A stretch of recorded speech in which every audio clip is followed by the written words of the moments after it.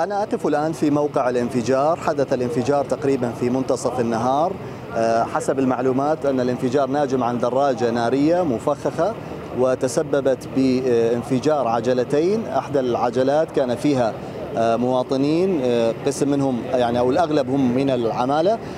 تسبب الانفجار في استشهاد شخصين بالإضافة إلى جرح أشخاص آخرين حسب الحصيلة الأولية التي يعني كشفت عنها الحكومة المحلية. حاليا نحن نقف في مسرح الحادث الأدلة الجنائية الأجهزة الأمنية تقوم برفع البصمات وأيضا رفع جثث الضحايا ومتابعة ملف التحقيق. وهناك ربما في الساعات المقبلة ستتكشف حقائق جديدة بناء على المعلومات التي تقوم بجمعها الأجهزة الأمنية.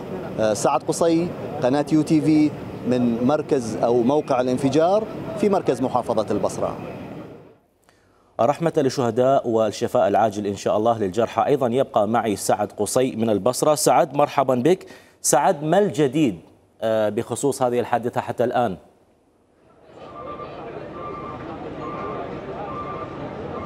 مرحبا علي. طبعا ما زلنا نتواجد في موقع الانفجار.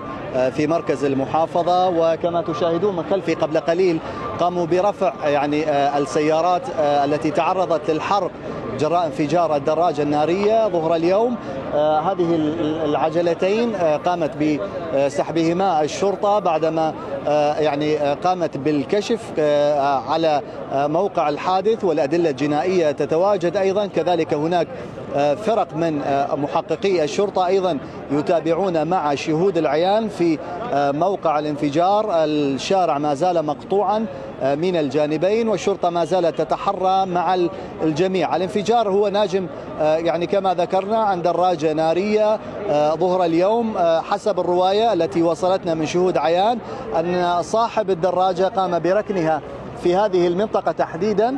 وغادر المكان وبالتالي الناس كانت تستفسر عن سبب ترك هذه الدراجة. وما هي إلا لحظات حتى حدث يعني كانت هناك يعني عجلتان مرت من هنا. إحدى هذه العجلات كان فيها عاملين يعني يعملون من الكسبة. هم كانوا الضحايا الانفجار بشكل أساس حسب آخر حصيلة.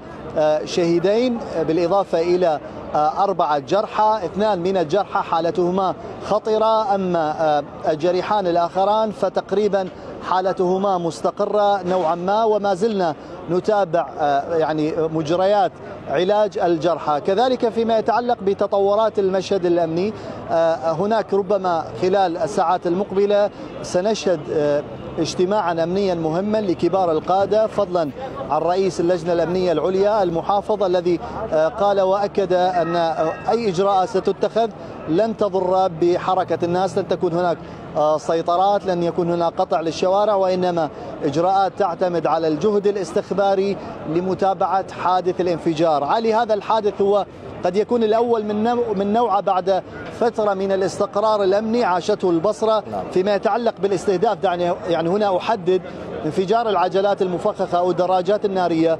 منذ سنوات تقريبا لم نشهد هكذا حوادث.